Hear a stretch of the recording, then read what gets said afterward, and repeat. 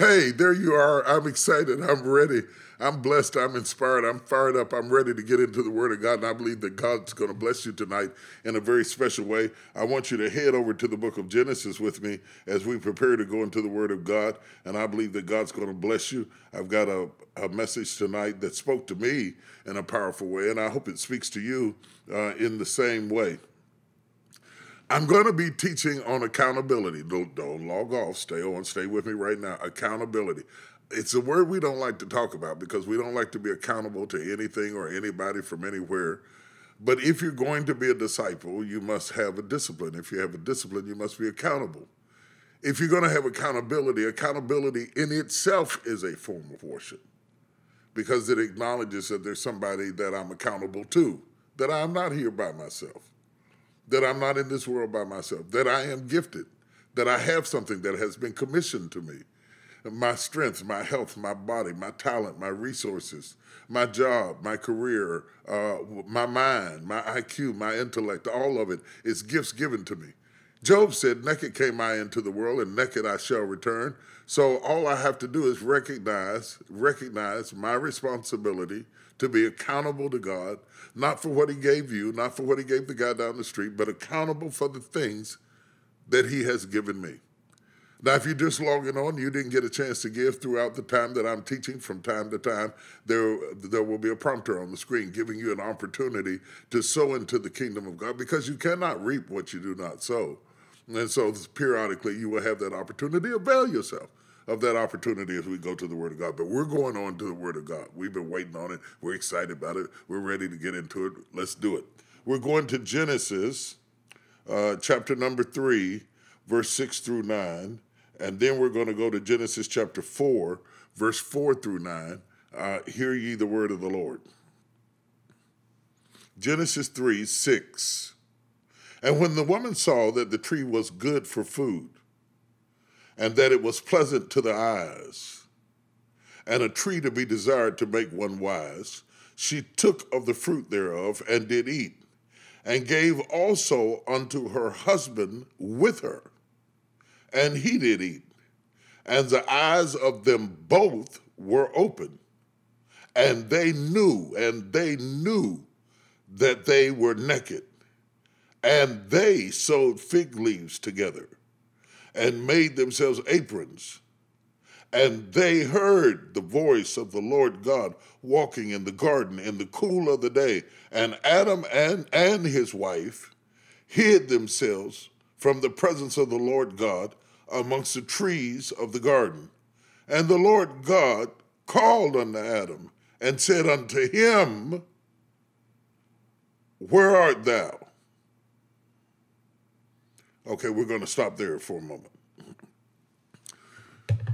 Oh, Father, bless your word and sanctify it into our hearts and into our spirits as we delve into the word of God. Let us excavate from the treasures of your word those truths that are relevant to our lives and relevant to our deeper understanding of you. So while we understand who you are and what you require of us, we also want it to be cut to the continuity of our situation and be a rhema word that speaks to our lives in a special way.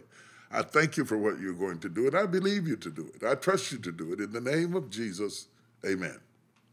We are in the book of Genesis, which is the book of beginnings. Everything starts here in terms of understanding the plan of God. It does not explain God. It does not claim to explain God. It is not meant to explain the creation, though, though it does chronicle the creation.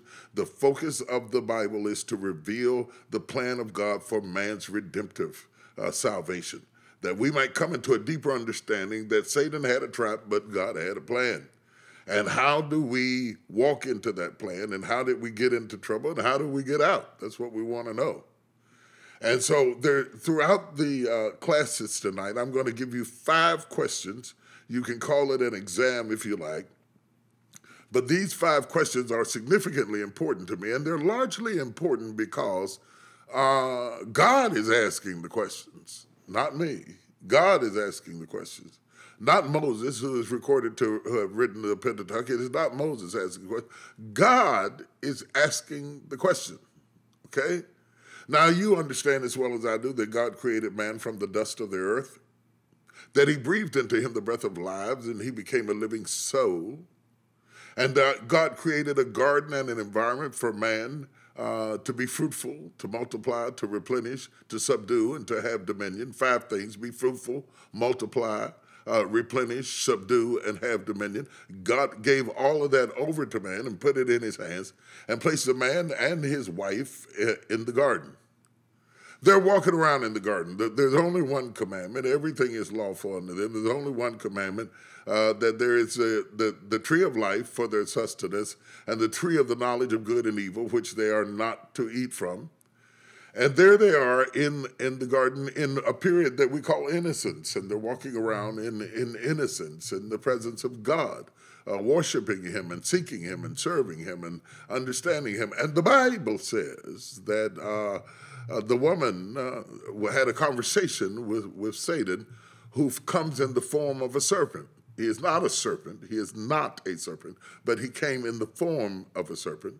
Satan can come in many forms. The way one place the Bible said he has transformed himself into an angel of light. He, he will come as a wolf in sheep's clothing. He has the ability to use whatever he will to manifest himself, but he comes in the form of a serpent. And the Bible says that she enters into this conversation, she engages him, which is a big mistake. She's going to talk to him. She has a conversation with him. She's not alone, though. The man is with her. The Bible says the man is with her. And the interesting about it, we have often uh, challenged women and chastised them for their responsibility uh, in the process. But the reality is the man was with her. Okay, he's not saying anything, but he's with her. You know how we do, man. Sometimes we don't talk, but he's with her. She's having this conversation with the serpent.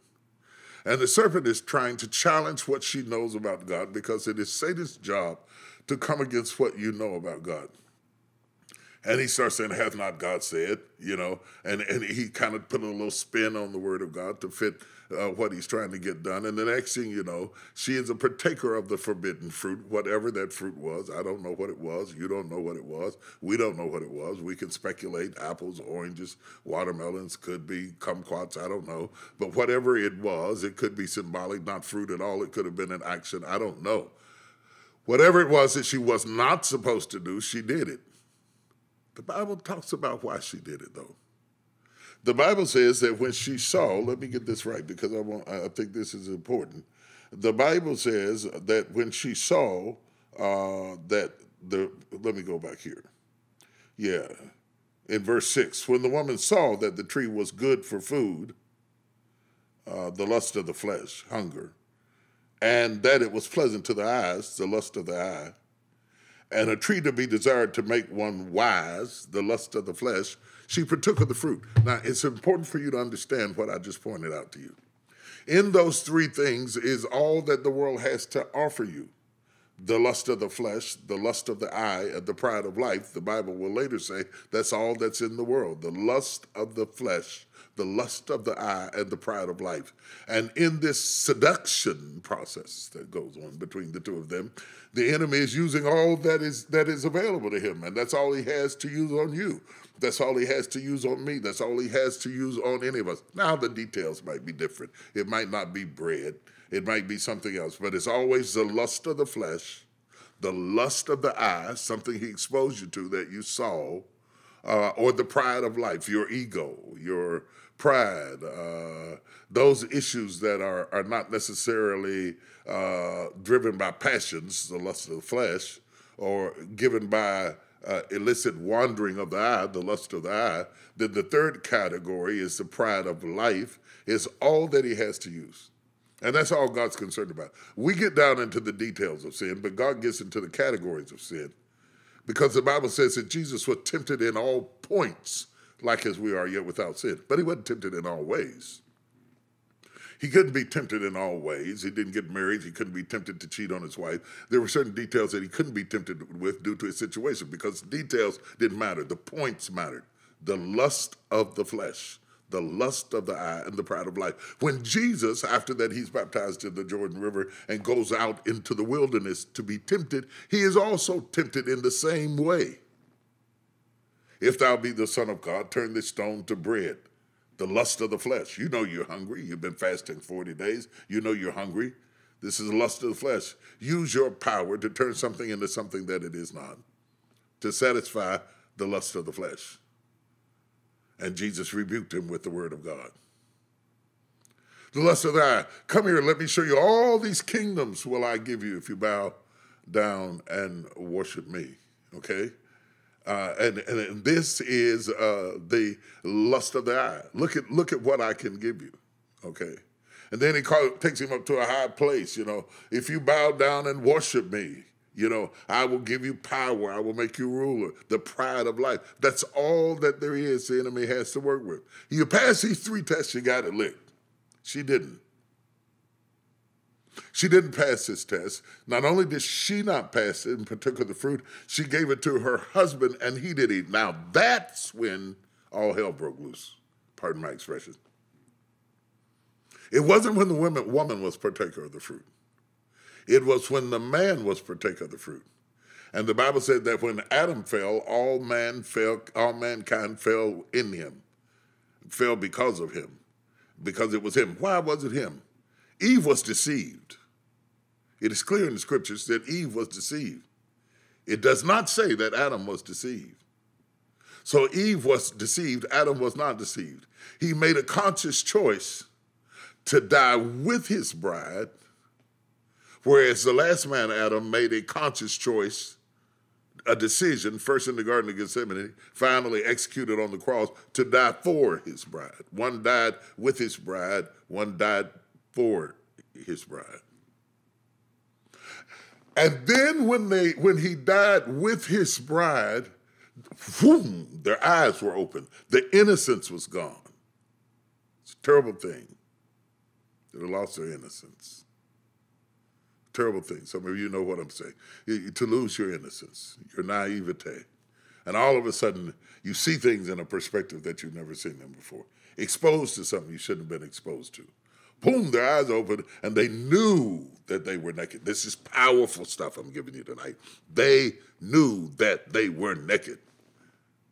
See, you cannot convict somebody of a crime if they didn't know that they did it. If they didn't know, it might be manslaughter. It can't be murder. Sometimes it can't even be manslaughter if they are judged incompetent of their ability to comprehend right from wrong. That's why they bring in psychologists in a court case to make sure that the person is competent enough to stand trial. Do you know what you're saying? That's why they read you Miranda rights and ask you, do you understand what I'm saying? Because they have to make sure that you're competent. The Bible is clear. They knew, okay? And because they knew, they, their, their eyes were open. They knew that they were naked. They knew that they were naked. They heard the voice of God walking through the cool of the garden. They both heard him. They both ran and hid themselves. They both were afraid. They heard his voice. Let me put it over. They heard their voice. They knew that they were naked. They were afraid. They hid themselves. They heard. They knew. They were afraid. They hid. Those four things encompass most of us. They heard the voice of God. They knew that they were naked. Instead of coming out and saying, I made a mistake, I don't know how to fix this, they were afraid and they hid. Anytime you see somebody hiding, it's not because they're wicked, it's because they're afraid.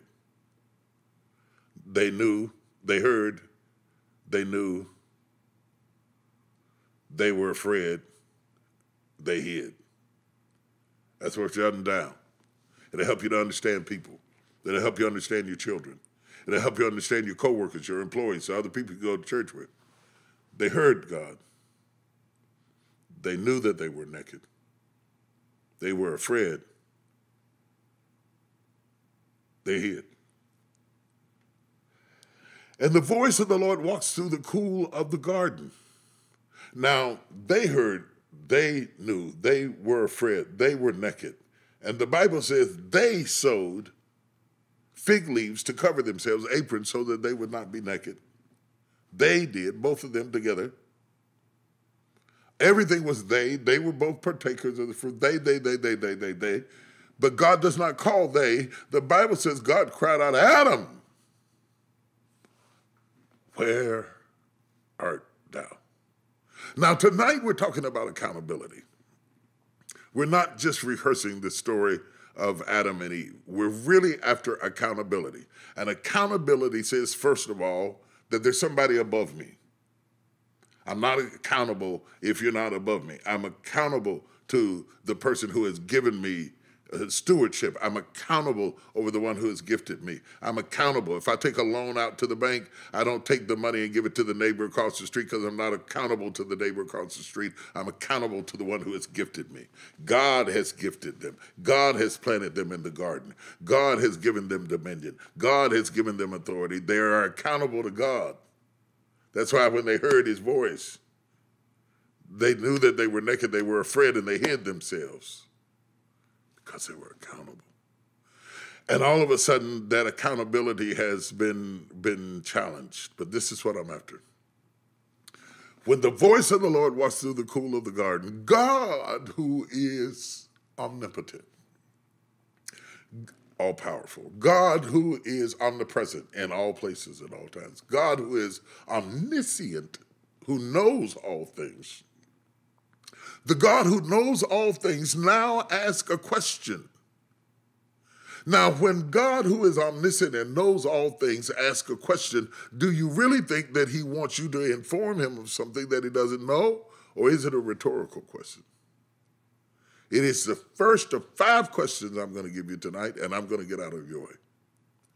God Almighty comes walking down through the cool of the garden and asks Adam a very simple but complex and complicated question to answer Where art thou? He didn't ask, Where is Eve? He didn't ask, Where is the serpent? He didn't ask, Where is the fruit you left laying on the ground? He didn't ask that. He didn't ask, Where is the money? He didn't ask anything. He said, Where art thou?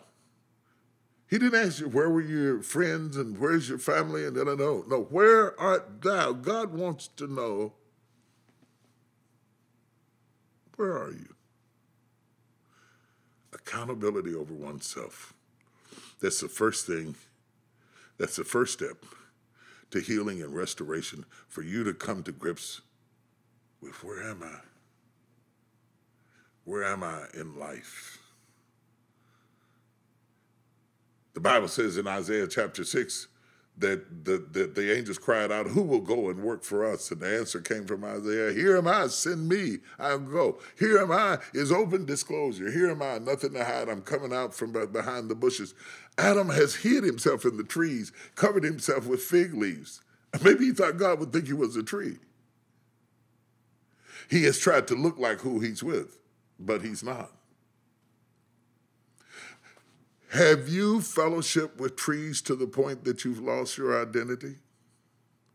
And you tried to look like one of them, but you really weren't one of them. And you sewed on you a little fig apron so that you would appear like you're one of them. And you're in the club with them and you hang out with them and you laugh at their jokes and you listen at their stories and you try to fit in. And man innately is desired and wired to want to fit in. And Adam is hiding himself among the trees dressed in fig leaves. But he's not a tree, he's just dressed like one camouflage. Some of you are hiding out in places that you are not really one of them, but you're hiding out with them because you want so much to belong. Because you've gotten away from God and you're disconnected from God, so you want to be connected with trees. You are not a tree. Take the fig leaves off. You are not a tree. You're hanging with trees, but you're not a tree. You look like a tree, but you're not a tree. You do what they do, you wear what they wear, you go where they go, but you're really not one of them. And God is calling you out of the sociological construct that you have built around yourself to hide yourself in. And God is saying to you, not them, not they, where are you? Where are you? It's a hard question to answer sometimes. Where are you in your life? Where are you in your head? Where are you in your mind? Where are you in your understanding of God? Where are you? You come home, but you're not at home. You go to work, but you're not at work. You go to church, but sometimes you're really not there. And people don't notice that you're missing, but God knows that you're missing. That you've lost yourself in your circumstances, that you've lost yourself in your environment, that you've lost yourself in your problems, that you've lost yourself in your crisis, that you've lost yourself in the situation. And God is calling you as you are, naked, exposed. All things are open before Him with whom we have to do. And God is saying, Adam, you may be uncomfortable, you may be afraid, but I call you out. You're not a tree.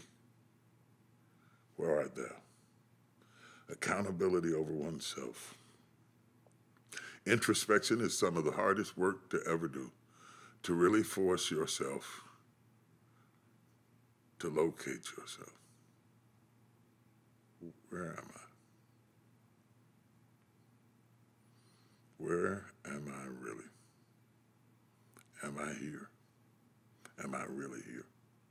When I'm present, am I really present? Or is my body someplace and my head someplace else? And how do I get it all back together again when it feels like it's all shattered and it's coming apart? And God is saying, Adam, hey, Adam, where art thou? It's a wake up call. It's not really God wanting you to inform him. It is God giving you a chance for self discovery, accountability over oneself. Where art thou? Not where is your wife, not where is the serpent, not is not where is all the people that got you into this trouble, where is so and so, where is it? No, no, no, no, no, no, no, no, no. You'll never get better until you come to grips with this first question. Where art thou? I'm a drug addict. I'm hiding in drugs. I'm hiding in problems. I'm hiding in sin. I'm hiding in sex. I'm hiding in trouble. Here I am. Afraid? Yeah. Naked? Yeah. Ashamed? Probably. Here am I. Come out with my hands up. You got me. I've located myself. Not just so that I can come to you, but also that I can come to me.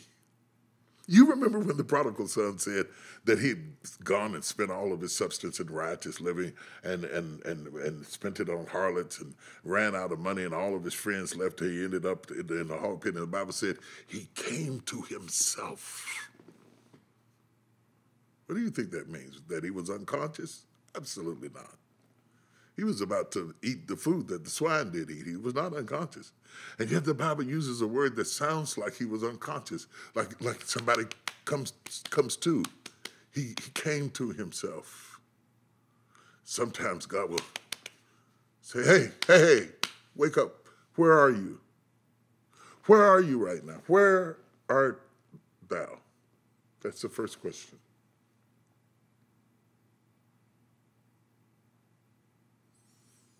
Where are you in your marriage, in your ministry, in your heart, in your life?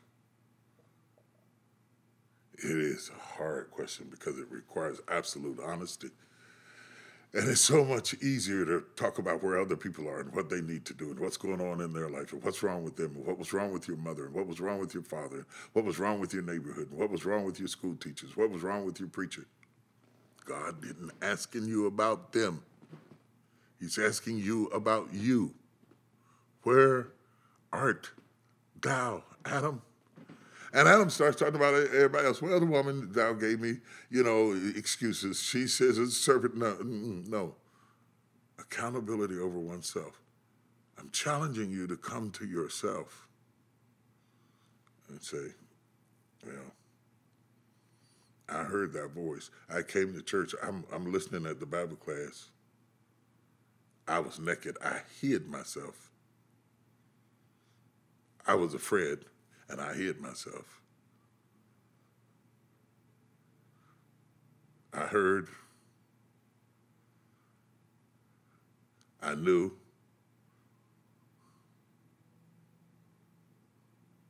I heard thy voice. I was afraid. No, I heard thy voice. I knew I was naked. I hid myself.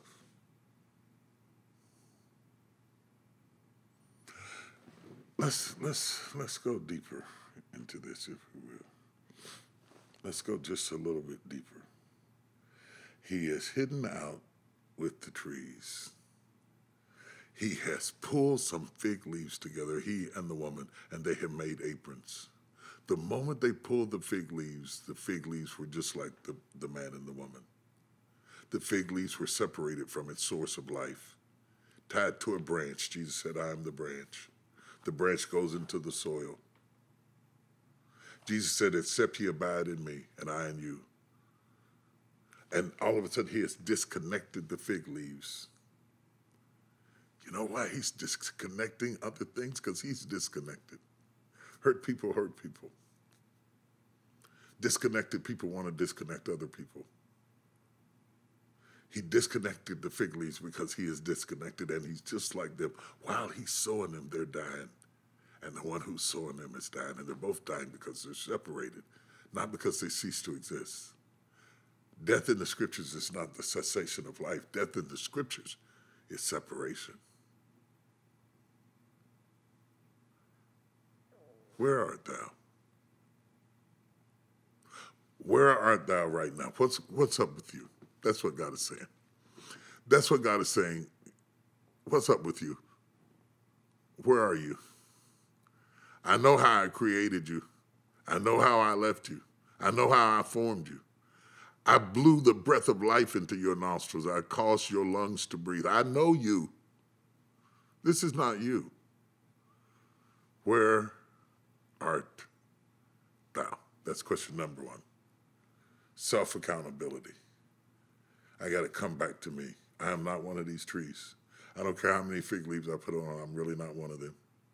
I dress like they dress. I walk like they walk. I laugh at their jokes. I, I go to the Christmas party with them, but I'm really not one of them.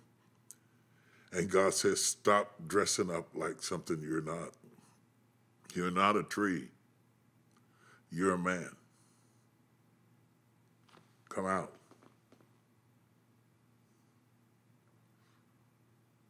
From behind those trees, because I want to deal with you. Can I go deeper tonight? I, I think we're I think we're having a talk with God. And I think that's a very important thing. In Genesis chapter 4, verse 4 through 9, we will find uh, Cain and Abel. Now, Cain and Abel have been born. They are the children of Adam and Eve. This is after the fall. They have been born in sin. They were not born before their parents fell. Had they been born before their parents fell, perhaps they would have had eternal life. But but now they've got damnation. They're born in sin and shapen in iniquity because they are born up under the curse of their parents.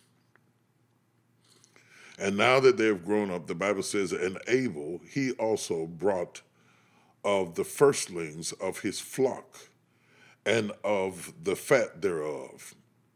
And the Lord had respect unto Abel and to his offering. But unto Cain and to his offering he did he had not respect, and Cain was very wroth, and his countenance fell. And the Lord said unto him, Why art thou wroth? Question number two. Why are you angry? What are you what are you angry about? Cain, why are you angry? Are you comparing yourself with Abel? Are you envious of your neighbors? Are you upset with the other church down the street, the other choir, the other singer, the other vocalist? Why are you angry? Are you upset with your sister, your brother? Why are you angry? You got to get down to why are you angry? God is asking questions. The judge of the universe has hit the scaffold and he's questioning the witness.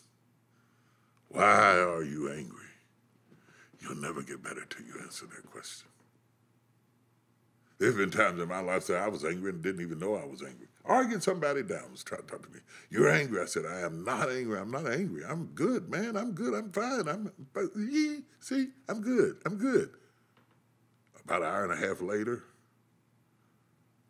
I came to myself and I thought, oh my God, I am angry. I was talking nice. I was talking nice about people that I was secretly, even hidden from myself, angry with. Why are you angry? The truth of the matter with Cain is that Cain was angry because God had had respect unto Abel's sacrifice. And God had blessed Abel, and he had rejected Cain. And Cain felt rejection and alienation and separation. And he was angry. He was so angry. He was so angry. Somebody I'm talking to tonight, beneath everything, makeup, eyelashes, nice dresses, suits, ties, jeans, whatever you wear, beneath all of that camouflage, you're angry. And that's why the marriage isn't working. That's why the job isn't prospering. Because you're angry. You're angry like Cain. You're angry like Hannah. Hannah was angry. You remember Hannah in the Bible? She was angry with Peninnah. And she finally went to church and she had to pour out before she could ever receive. She wanted to have a child. There was no room to have a child. She was full of anger. You can't be pregnant with life and death. In the old church, we used to call it purging. They put you on the altar and they have you calling on Jesus till you started foaming at the mouth. It wasn't a pretty sight, but they'd have you calling and calling and calling. They called it purging. Sometimes we need to do that, not the way the old church did, but we need to get that whatever that is on the inside out. If it's tears, if it's anger, if it's frustration, it's got to come out. You can't control it down in there forever. You're going to explode. You're going to implode the second question of accountability is Are you accountable about your emotions? You are accountable for how you feel. You're not accountable for how they feel. You're not accountable for how they feel. You're not accountable for them. You're accountable for you. That's why forgiveness is a gift you give yourself.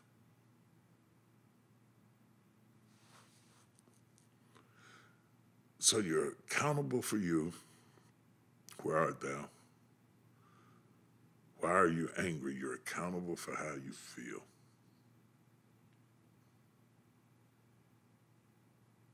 You are accountable for how you feel. I'm not saying you're not justified, but you're accountable for how you feel.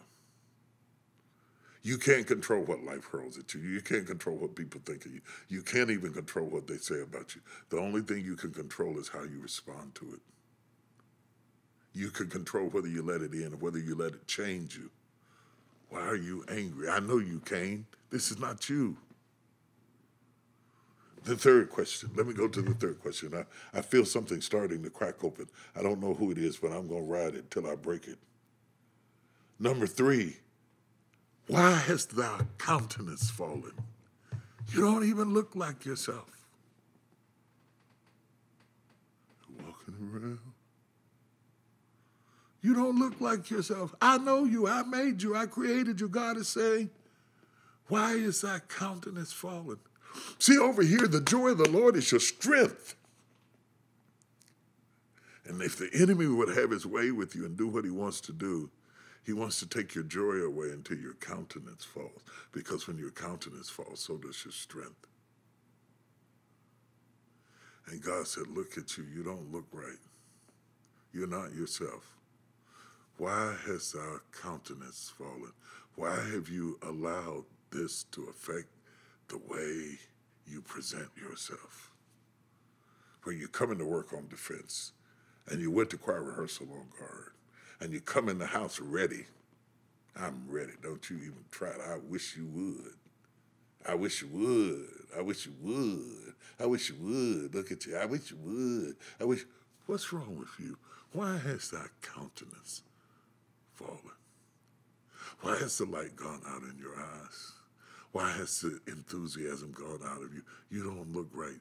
God made you, and He says, I hold you accountable for how you present yourself you're not doing a good job. So we have three questions of accountability. the first one is to find you. Where are you? And after you deal with not being there and not being present and being hidden in your own life and hidden from pain and scared of being hurt again and scared of disappointment to the point that you've contorted yourself into something that you don't even know where you are anymore after you deal with that. Why are you angry? Why are you angry? Number three, why has thy countenance fallen. The kids can tell, the dog can tell, the cat can tell, everybody can tell. You, you used to be the light in the house. You used to be the life of the party.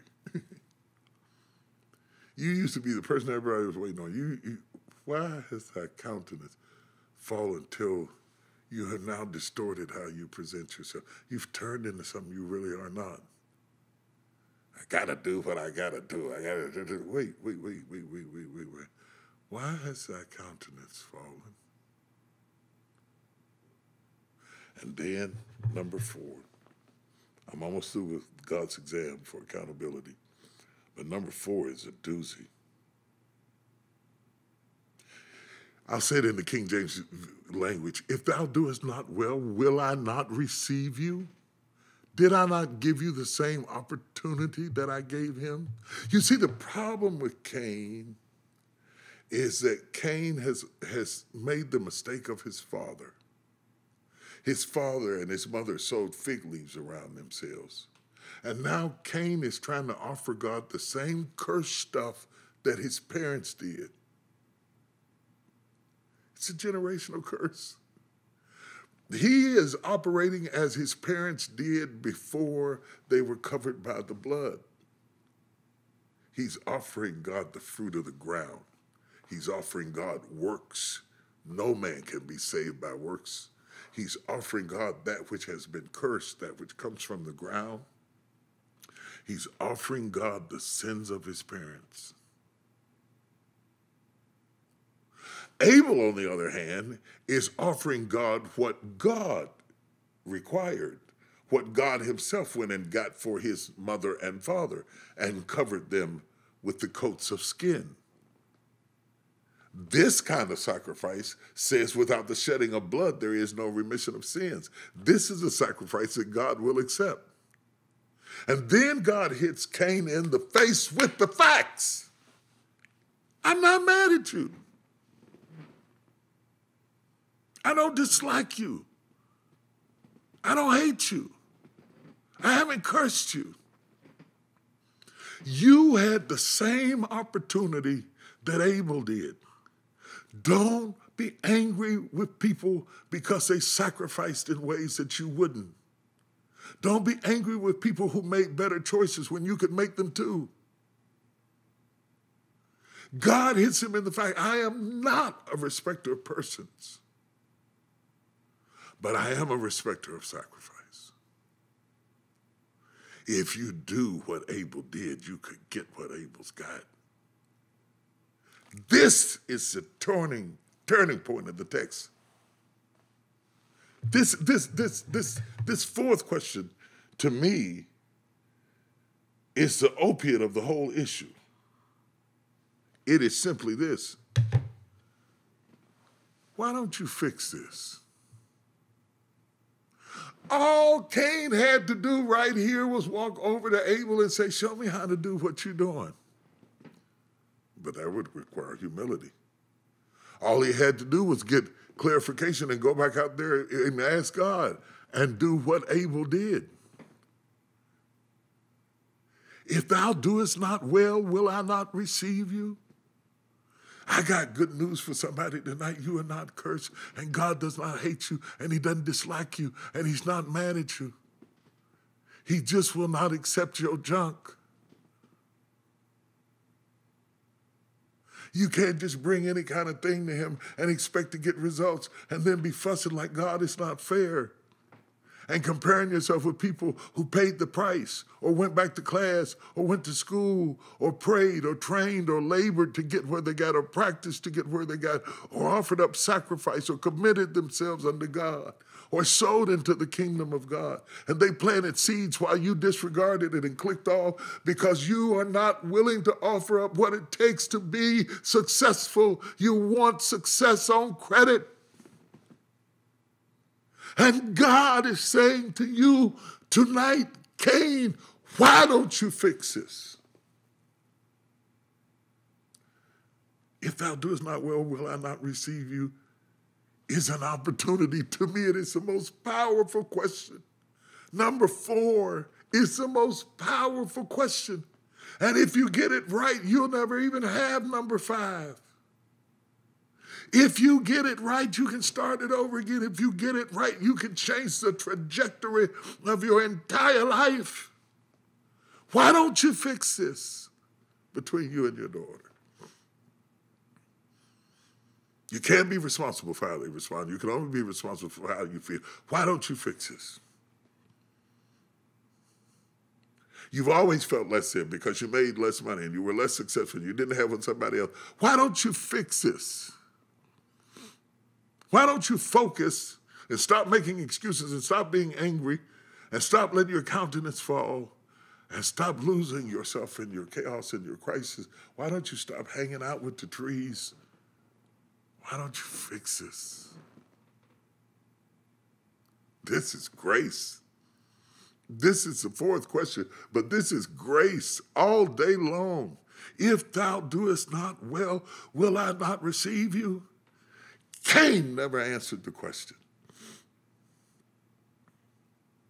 And some of you, you go to church and you clap your hands and you know the gospel songs and you play Kirk Franklin in the car and all that kind of stuff. And you got some of my CDs and you listen to Bishop Evans and you listen to different ones. And so all that's great, great, great, great, great, great. Question is, why don't you fix this? You you know, but why don't you fix this? If thou doest not well, will I not receive you? No, he wouldn't listen. No, he wouldn't listen. So he walks away,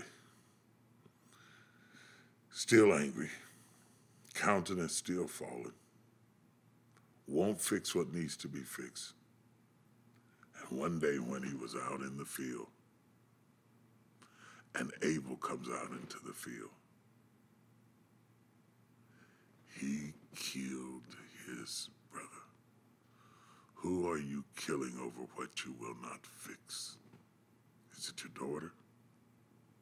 Are you killing her with your anger over your ex?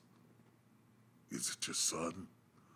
Are you killing him trying to prove a point to somebody who went off and married somebody else because you're angry?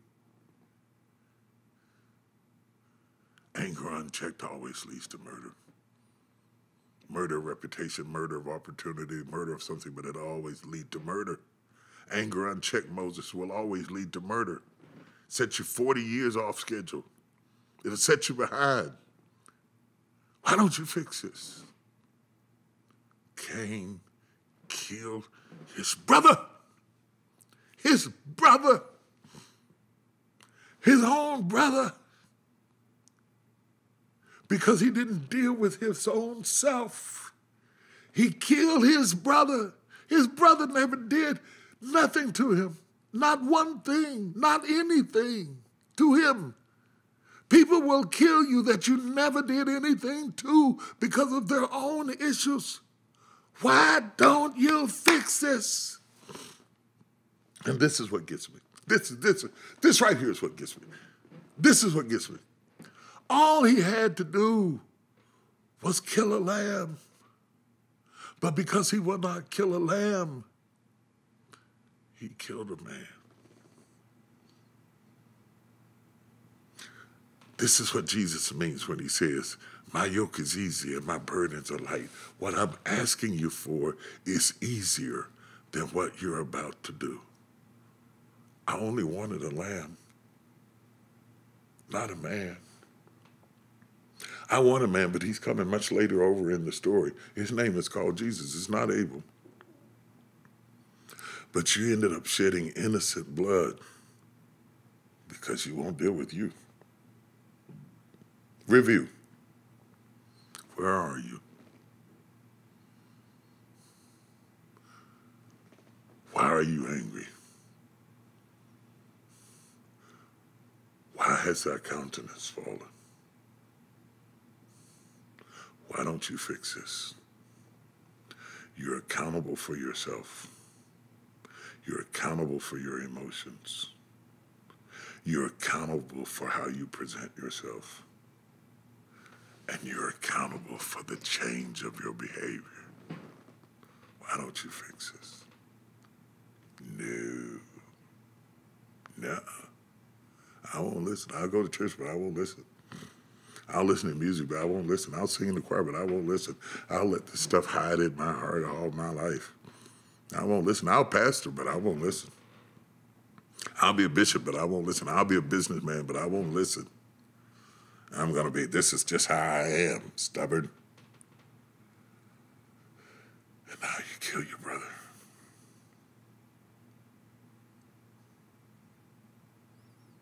Now you beat your wife front of your son and your daughter.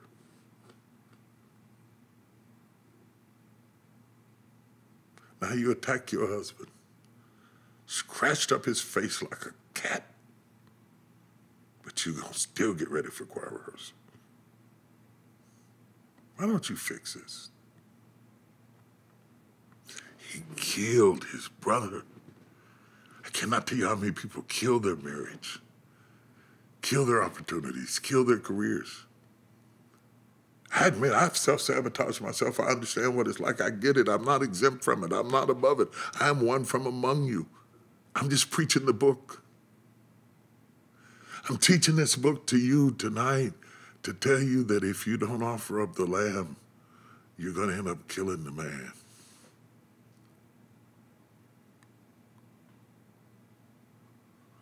And here comes God up to Cain, just like he walked up to his daddy and said, Adam, where art thou? Now he walks up to Cain and he asks him a question. Question number five Where is thy brother? Question number five suggests to us that we are accountable for the people around us. That some things we endure not because we like them, not because we enjoy them, not because we're happy, not because it's what we want to do. Some things we endure for the betterment of the people we love. That you are accountable for the person at the desk across from you, and the alto who sings behind you, and the neighbor who lives down the street. That God is watching how you treat other people.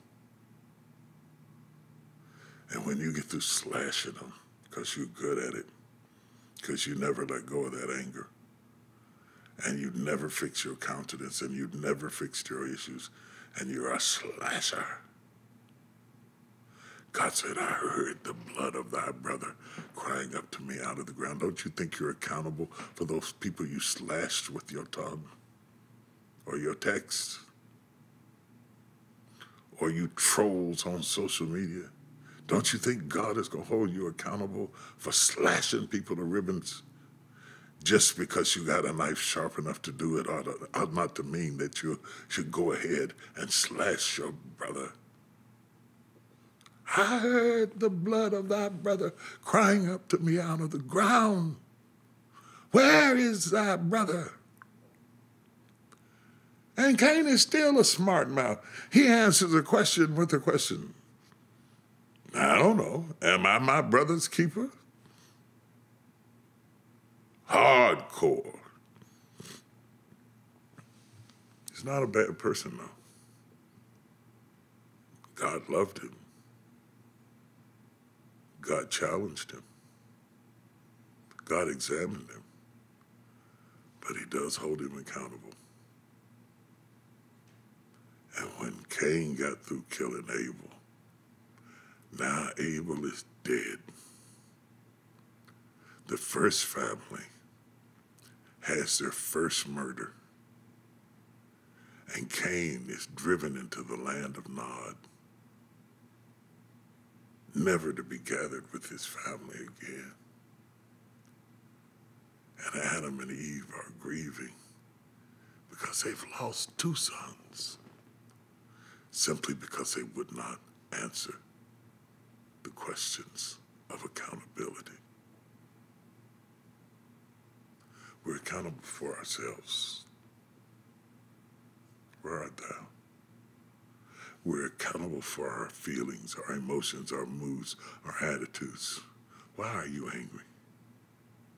You're accountable for the spirit you carry on your face and bring to work and bring around other people. Why is a countenance fallen? You're accountable for the lack of taking responsibility to do the hard work of fixing stuff. And it is hard and it is difficult.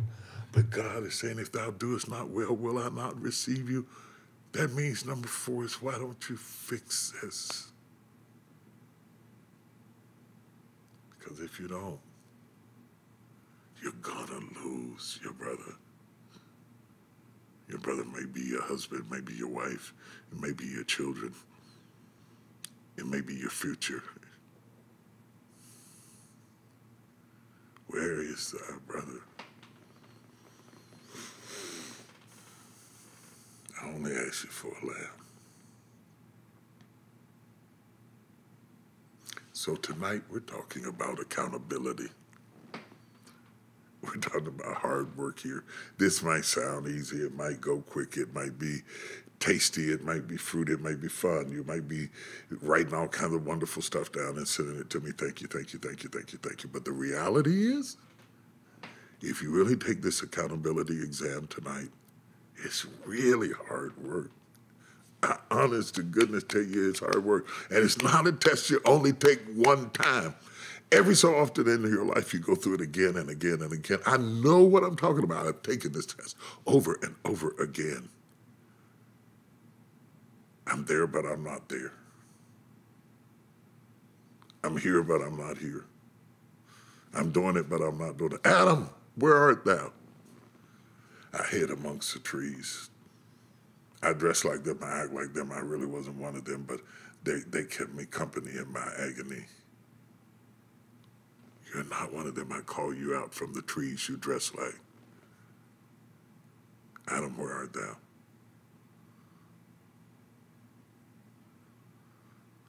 Why are you angry?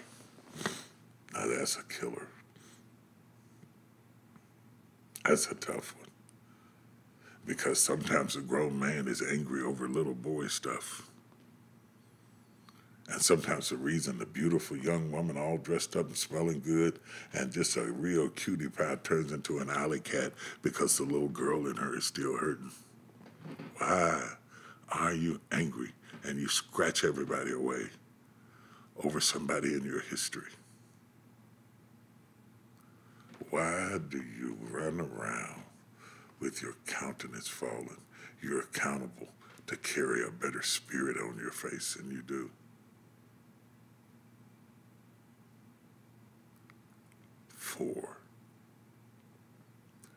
Why don't you fix this? Why do you let the silence fill your house and fill your life? Until the, the kids can feel the tension. Why don't you fix this? I tried, I tried, I couldn't do it. Go back again. God is holding you accountable. Because if you don't do the hard work of humbling yourself and fixing this and being accountable for your choices and your decisions and your behavior and stop telling yourself the lie that you're cursed, you're not cursed, you're loved. It's not too late. You're not in too deep. It's just going to take a little sweat. And it may take a little time to raise a lamb. I don't know, you may have to breed them. It may be next year. But why don't you get on the road to fixing this before you end up with the fifth question? Where is thy brother? Tonight we talk about accountability. And it's it's it's it's something we all have to do over and over again and do checkups and do physicals and and, and take exams over and over again at different moments in their life. And we don't always pass the test, I will admit it, but we must take the test over and over again until we get the courage to answer because Cain is here to teach us that questions we do not answer turns into murder.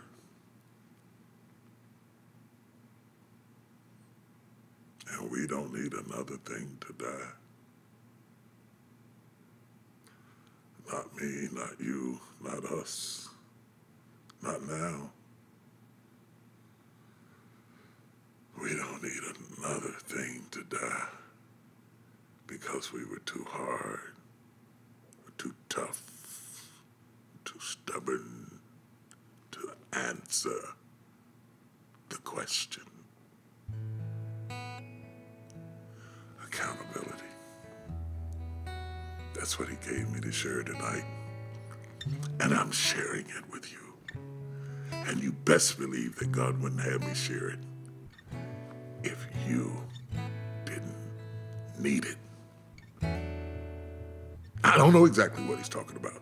I'm just a mailman. I didn't open up the letter. I just dropped it off at your house. I don't know what names to call. I don't know what streets they live on. I don't know anything about them other than that God sent me to ask you the question. You have to come up with the answers. God bless you. I'm praying for you. Let's pray right now. Oh my God. This is hard work. This is a tough test. The questions are deep and complicated. They sound simple and mundane, ritualistic, maybe even trivial.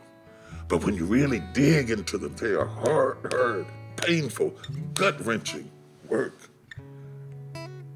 rehabilitative work, reconfiguring work, reconstructing work.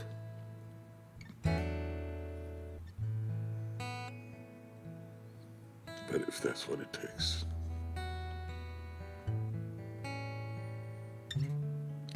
I hold myself accountable. I hold my emotions accountable. I hold the way I present myself accountable, and I hold my decisions and choices accountable. I'm going to fix this. And I am going to be accountable, Lord, for the people around me. I'm going to love better. I'm going to live better. I'm going to be nicer. I'm going to be kinder. I'm going to be more considerate. I'm going to be better. Help me to be better. I know I'll never be perfect, but let me be better. In Jesus' name. Amen. I'm TD Jakes. The class is accountability. The church is the potter's house. And thank you so much for just listening. Five questions. Questions of accountability. That's all I have tonight. Question is, Have a good evening. And the answer is no, no, no, no, no, no, no, no, no, no, no, no, no,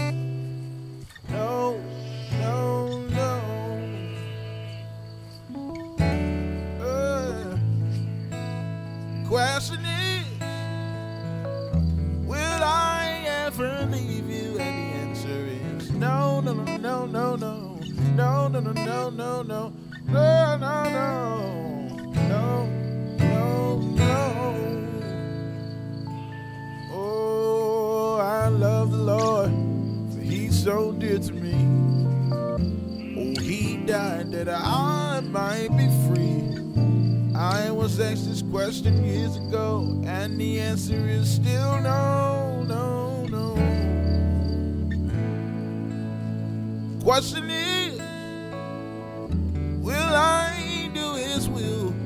And the answer is yes. Yes, yes, yes, yes, yes. I was at home late one night. The Lord asked me, Will I do His will? And the answer is yes, yes.